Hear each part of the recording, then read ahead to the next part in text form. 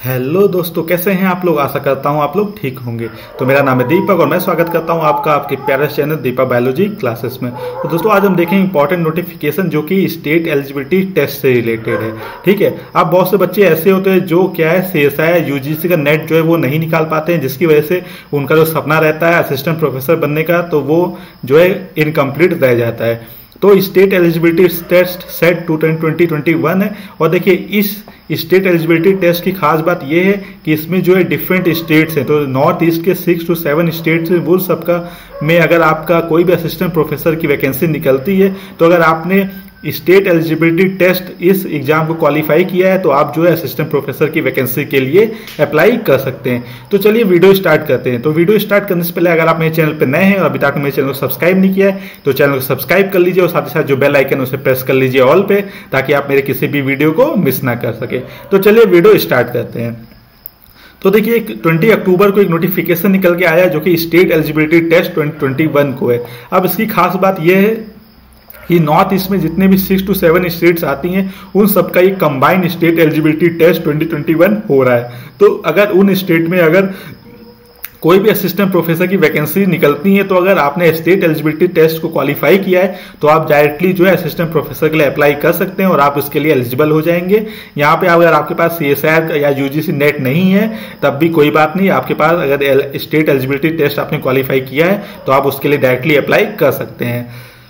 तो देखिए ये जो सेट का एग्ज़ाम है ये होगा असम तो इसे जो कंडक्ट करा रहा है वो S L E T SLET commission Assam and जो एग्ज़ाम यहाँ पे होगा, वो आपका होगा रहेगा 14 फरवरी 2021 संडे को। तो यहाँ पे देखिए एग्ज़ाम डेट इन्होंने मेंशन कर दी है। इसके साथ ही इन्होंने बताया कि इसमें जो सब्जेक्ट रहेंगे वो ऑलमोस्ट 25 सब्जेक्ट यानी ऑलमोस्ट जितने भी सब्जेक्ट है 25 सब्जेक्ट इन्होंने मेंशन किए। तो इन 25 सब्जेक्ट के लिए जो है स्लेट का ये सेट का एग्ज़ाम जो है वो होगा। तो आप जिस भी सब्जेक्ट के लिए अप्लाई करना चाहते हैं, आप उसके लिए अप्लाई कर सकते हैं। तो इसमें देखिए आपका जो फ़ी पेमेंट रहेगा, वो रहेगा बैंक चालान के फॉर्म में, ठीक है? तो देखिए, यहाँ पे आपको अपना बैंक चालान जो वो जनरेट करना पड़ेगा और उसके बाद जो है, आपको प्रिंट आउट लेना पड़ेगा उस चालान का और आपको डायरेक्टली जो है, वो उसका पेमेंट करना पड़ेगा, ठीक है? तो बैंक में जाके, ठीक है? तो देखिए the website will be operating from 20 October तो ये जो ऑनलाइन एप्लीकेशन है, वो स्टार्ट हो चुका है 20 अक्टूबर 2022 और जो इसकी लास्ट डेट रहेगी ऑनलाइन एप्लीकेशन की, वो रहेगी 14 दिसंबर 2020 ठीक है? और जो फ़ी डिपोजिशन की डेट रहेगी, वो रहेगी 16 दिसंबर 2020 ठीक है? तो देखिए, यहाँ मैंने आपका कुछ इंपॉर्टेंट डेट्स भी डिस्कस कर ली। जैसे 20 अक्टूबर को ऑलरेडी जो फॉर्म इसका स्टार्ट हो चुका है और जो लास्ट डेट 14 दिसंबर रहेगी और जो फ़ी पेमेंट की लास्ट डेट रहेगी, वो रहेगी 16 दिसंबर 2020 अब हम देख लेते हैं इस इंपॉर्टेंट नोटिफिकेशन को। तो देखिए, ये जो नोटिफिकेशन है स्लेट कमीशन आसाम है और इसने देखिए, ये जो इन्फॉर्मेशन ब्रोच्योर आप देख सकते हैं, ये आपको डायरेक्टली जो है SLET any dot O R G पे मिल जाएगा। तो ये जो वेबसाइट यहाँ पे है, आप उस पर लॉग इन करके वहाँ पे वेबसाइट पे जाके जो है आप इसका जो नोटिफिकेशन है या ब्रॉच्यूर है, वो आप देख सकते हैं। तो देखिए, यहाँ पे इन्होंने मेंशन किया है कि it's member state at present यानी कि आसाम, अरुणाचल प्रदेश, मिजोरम, मणिपुर, मेघालय, सिक्किम एंड त्रिपुरा। तो देखिए one two three four five six seven तो नॉर्थ ईस्ट में सेवन स्टेट्स आती हैं। अगर यहाँ पर, कहीं पर भी अगर असिस्टेंट प्रोफेसर की वैकेंसी निकलती है किसी भी यूनिवर्सिटी में या किसी भी कॉलेजेस में, इन स्टेट्स में तो अगर आपने सेट क्वालिफाई कर रखा है स्लेट यानी कि स्टेट लेवल एलिजिबिलिटी टेस्ट आपने क्वालिफाई कर रखा है तो डायरेक्टली आप जो है असिस्टेंट प्रोफेसर के यहाँ पे एलिजिबल हो जाएँगे। यहाँ पे अगर आपके पास सी या यूजीसी नेट नहीं है, तब भी कोई बात नहीं है, लेकिन अगर आपने स्लेट का एग्ज़ाम क्वालिफाई किया है तो डायरेक्टली आप जो है इसके लिए अप्लाई कर सकते हैं। ठीक है तो देखिए एलिजिबिलिटी की बात करें तो आपका यहाँ पे मास्टर डिग्री होना चाहिए अब कंसर्न सब्जेक्ट में। जिस भी सब्जेक्ट में आप जो है स्लेट का अप्लाई करना चाहते हैं फॉर एग्ज़ाम्पल अगर आप लाइफ साइंस में करना चाहते हैं तो आपका जो एमएससी वो लाइफ साइंस में होना चाहिए। ठीक है, अगर आप जो है किसी और सब्जेक्ट में फॉर एग्ज़ाम्पल अगर आपने इंग्लिश में है या हिंदी में है तो आपका जो मास्टर डिग्री होना चाहिए, वो पार्टिकुलर सब्जेक्ट में होना चाहिए। साथ ही साथ जो है, आपका मिनिमम फिफ्टी परसेंट मार्क्स जो है, वो आपका पीजी डिग्री में होना चाहिए। ठीक है तो ये कुछ इंपॉर्टेंट नोटिफ लाइक के पॉइंट्स थे तो मैंने आपके डिस्कस कर लिए और भी देख लेते हैं इंपॉर्टेंट पॉइंट्स तो देखिए, यहाँ पे जो है टेस्ट आपका स्लेट का होगा, वो इतने सब्जेक्ट में होगा ऑलमोस्ट 25 सब्जेक्ट्स में होगा। तो देखिए Assamese English economics education philosophy Bengali Hindi Arabic Persian law commerce life science तो देखिए, यहाँ पे जितने भी ऑलमोस्ट 25 सब्जेक्ट्स मेंशन किए गए हैं, और जो आपका स्लेट का एग्ज़ाम होगा, ये ऑलमोस्ट 25 सब्जेक्ट्स में होगा, ठीक है? तो आप जिस भी सब्जेक्ट के लिए अप्लाई करना चाहते हैं, आप उस पर्टिकुलर सब्जेक्ट के लिए अप्लाई कर सकते हैं। अब बात कर लेते हैं हम टेस्ट सेंटर की। तो देखिए ये जो टेस्ट सेंटर हैं, ये भी यहाँ पे मेंशन कर रखे हैं। फॉर एग्जांपल देखिए, Guwahati university दलबरगा university Tezpur university Assam university Manipur university Rajiv Gandhi centre university Tripura university Sikkim government college Mizoram university तो देखिए, इतने सेंटर है। One two three four five six seven eight nine total nine centre जो है, वो यहाँ पे बनाए गए हैं और आपको जो है, इनमें से किसी भी नाइन सेंटर में जो भी आपके घर के पास हो, आप उसके वहाँ पे जाके जो है, इस स्लेट का एग्ज़ाम दे सकते हैं।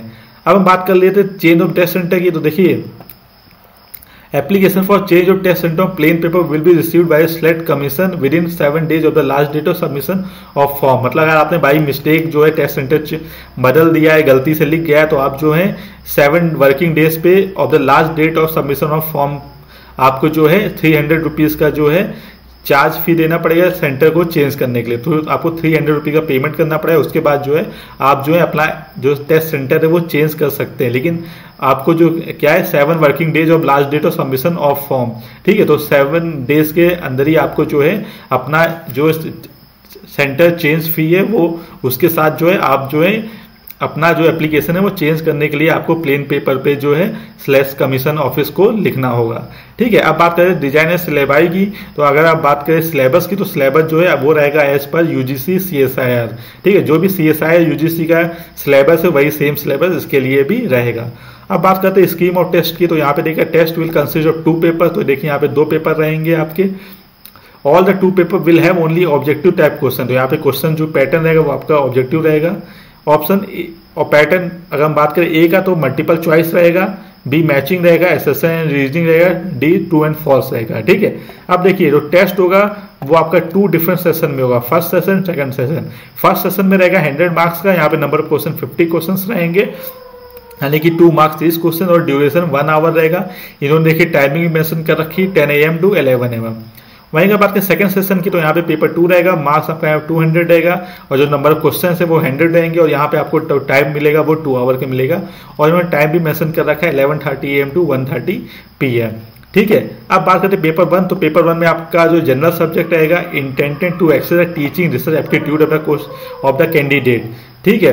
वहीं बात है पेपर टू का तो ये जो पेपर टू आपका रहेगा, यहाँ पे आपका जो है सब्जेक्ट से रिलेटेड जो है क्वेश्चंस रहेंगे।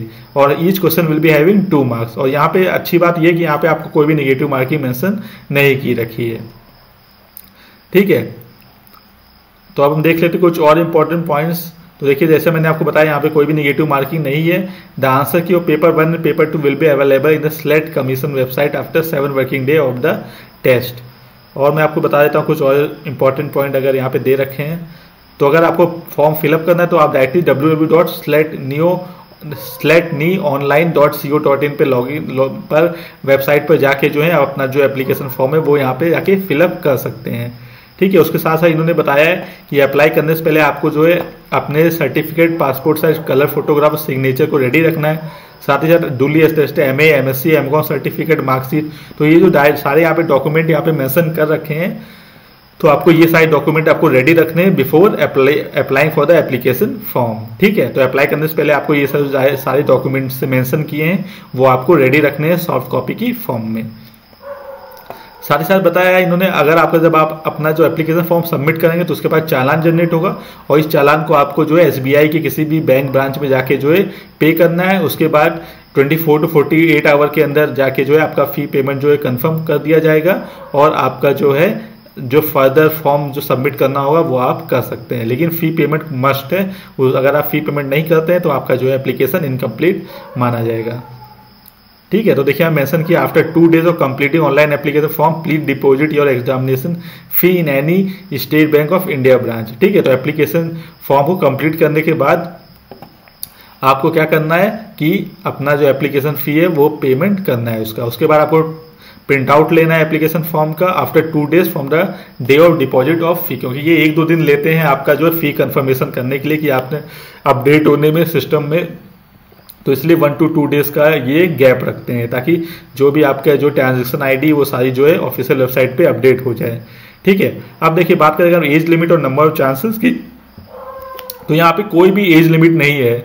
आप किसी भी ईयर की लाइक एज आपकी क्या भी हो, चाहे थर्टी फाइव हो, चाहे फोर्टी हो, चाहे फोर्टी फाइव ईयर्स हो, आप किसी भी एज के हो, आप इसके लिए अप्लाई कर सकते हैं। और यहाँ पे जो है नंबर ऑफ़ चांसेस की अगर बात करें तो आपको यहाँ पे जो है नंबर ऑफ़ चांसेस भी अनलिमिटेड दे रखे हैं। तो आप कभी भी कितने भी चांसेस आप ले सकते हैं स्लेट के एग्ज़ाम के लिए। ठीक है? अब देख लेते कुछ और इंपॉर्टेंट पॉइंट देखिए, यहाँ पे कुछ इंपॉर्टेंट उन्होंने बोला है, जैसे कि आपको कोई भी कैलकुलेटर नहीं लेना लॉक टेबल कुछ नहीं अलाउ रहेगा वहाँ पे आपको, और जो एग्ज़ाम होगा वो रहेगा आपका कंप्यूटर बेस्ड टेस्ट ठीक है? और मैं बात करूँगा एडमिट कार्ड की तो एडमिट कार्ड जो आपको है I think maybe seven to fourteen days के अंदर के बिफोर जो है, आपको अवेलेबल हो जाएगा स्लेट की ऑफिशियल वेबसाइट पे। Almost seven to fourteen days पहले एग्ज़ाम से आपका जो एडमिट कार्ड है, वो आपको वहाँ पे अवेलेबल हो जाएगा। आप देखिए, बात कर लेते हैं फ़ी की। तो देखिए, अगर आप जनरल कैटेगरी से बिलोंग करते हैं तो आपको यहाँ पे ट्वेल्व हंड्रेड रुपीज़ का जो है फ़ी पेमेंट करना पड़ेगा, यानी चालान की फॉर्म में। अगर आप ओबीसी नॉन क्रीमी लेयर से बिलोंग करते हैं तो आपको वन थाउज़ेंड फिफ्टी रुपीज़ अगर आप एस सी से बिलोंग करते हैं तो थाउज़ेंड रुपीज़ अगर आप बी डब्ल्यू डी कैटेगरी से बिलोंग करते हैं तो आपको यहाँ पे एट हंड्रेड रुपीज़ का जो है फ़ी पेमेंट करना पड़ेगा। और साथ ही साथ यहाँ पे देखिए, इन्होंने कुछ इंपॉर्टेंट नेम एंड एड्रेस दे रखे कोऑर्डिनेटर्स के। तो अगर आपको कोई भी डाउट है तो आप डायरेक्टली जो है इनसे कांटेक्ट कर सकते हैं। पे मोबाइल नंबर भी मेंशन कर रखा है। तो अगर आपको कोई भी डाउट हो तो आप जो पार्टिकुलर यूनिवर्सिटी में से रिलेटेड कोई भी डाउट है तो आप जो है, इन नंबर्स पे कॉल करके जो है, अपना क्वेरी जान सकते हैं। तो आई होप आपको वीडियो अच्छा लगा होगा। अगर आपको वीडियो अच्छा लगा तो वीडियो को लाइक और शेयर ज़रूर करें। अगर आपने चैनल पर नए हैं तो चैनल को सब्सक्राइब करें बिना ना जाएँ। तो चलिए मिलते हैं हमारे अगले वीडियो में। Till time take care bye bye